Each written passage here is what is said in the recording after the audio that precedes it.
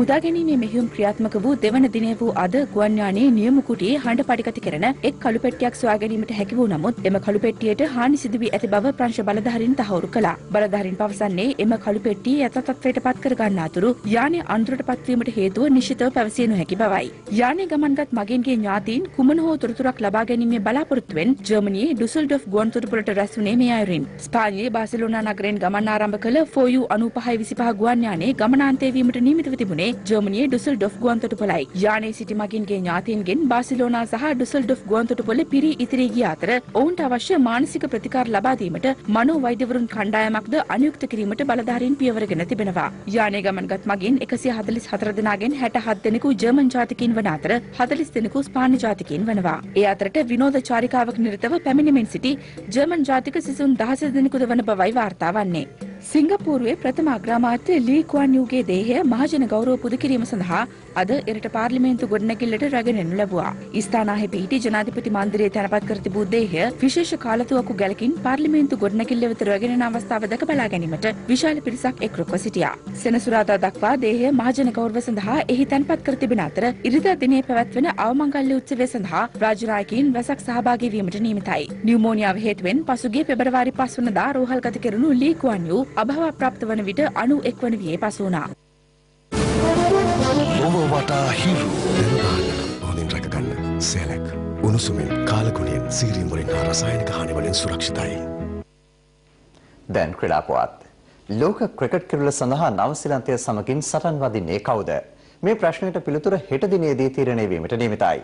හෙට ඔස්ට්‍රේලියාවේ Sydney cricket ක්‍රීඩාංගණයේදී සත්කාරක ඔස්ට්‍රේලියාව අපරාජිත ඉන්දියාව සමගින් ලෝක කුසලාන එක්දින ක්‍රිකට් තරගාවලියේ දෙවන අවසන් පූර්ව තරගයට එක්වනු ඇති.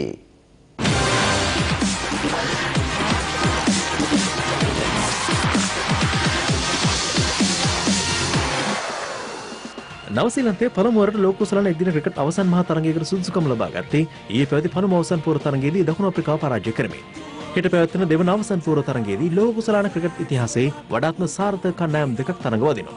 ඔස්ට්‍රේලියාව සිව්වරක් ක්‍රිකට් ලෝක ශූරයන් ලෙස අභිෂේක ලබා ඇති අතර ඉන්දියාව පසුගිය ලෝක කුසලාන තරඟාවලියේ ශූරතාව ඇතුළු ලෝක කුසලාන ශූරතා දෙකකට හිමිකම් කියනවා. ඉන්දියාව අවසන් පූර්ව තරගයට සුදුසුකම් ලබා ගත්තේ මෙවර තරඟාවලියේ ඔවුන් සහභාගී වූ සියලු තරඟ ජය ගනිමින්. ඔස්ට්‍රේලියාව නවසීලන්තය සමග පැවති මූලික වටේ තරගයකින් එක් කඩුවලක පරාජයක් ලැබූ අතර අනෙක් සියලු තරඟ ජය ගන්නට සමත් වුණා. ඔස්ට්‍රේලියානු කණ්ඩායමක් ලෝක කුසලාන අවසන් පූර්ව තරගයකට සුදුසුකම් ලැබූ හත්වෙනි අවස්ථාව මෙයයි. මීට පෙර 1975 සහ 1987 වසරවලදී මෙන්ම 1996 සිට 2007 දක්වා පැවති ලෝක කුසලාන තරඟාවලි හතරෙදීද අවසන් පූර්ව තරඟවල සුදුසුකම් ලැබූ ඔස්ට්‍රේලියාව ඒ සියලු තරඟ ජය ගන්නට සමත් වුණා. ඉන්දියා කණ්ඩායම මීට පෙර පස් වතාවක් ලෝක කුසලාන අවසන් පූර්ව වටේට සුදුසුකම් ලබා තිබෙනවා.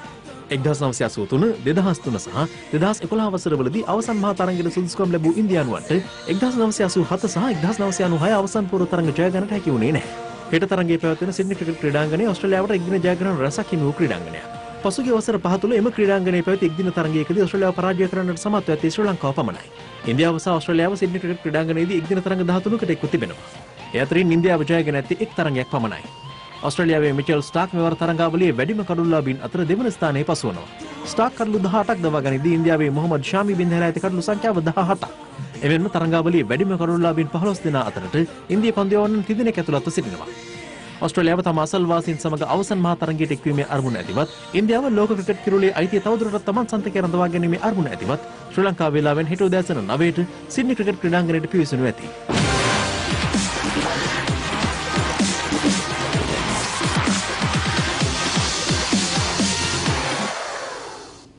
ක්ලිෆර්ඩ් කුසලාන පිළිවෙලම පිට දැකීමේ රග්බි තරඟාවලියේ තොරතුරු ඔබ වෙත ගෙනින්නට අපි දැන් සූදානම්. ක්ලිෆර්ඩ් කුසලාන රග්බි තරඟාවලියේ අවසන් මහා තරගයට සුදුසුකම් ලබන්නට මහනුවර ක්‍රීඩා සමාජය අද සමත් වුණා.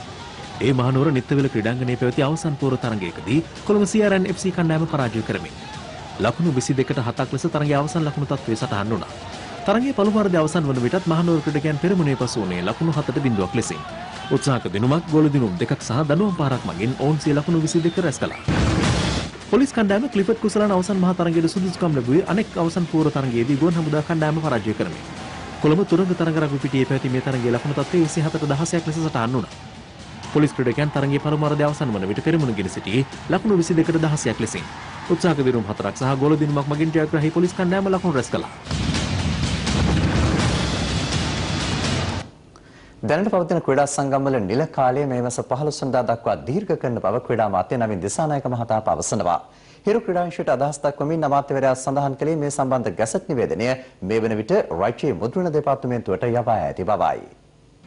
එක්දහස් නවසේ හැත්තෑ තුනේ අංක විසි පහදරන ක්‍රඩා පනතට අනුව දෙදහස් දහතුන වසරේ ජනවාරි පහළොස් වෙනිදා නිකුත් කළ අති විශේෂ ගැසට් පත්‍රය මගින් මෙරට ක්‍රඩා සංගම්වල නිල කාලයේ වසර දෙකක් දක්වා දීර්ඝ කෙරුණා. එම ගැසට් පත්‍රයට අනුව පත් කෙරුණු ක්‍රඩා සංගම්වල නිල කාලය අවසන් වීමට නියමිතව තිබෙන්නේ මේ මාස 31 වෙනිදායි.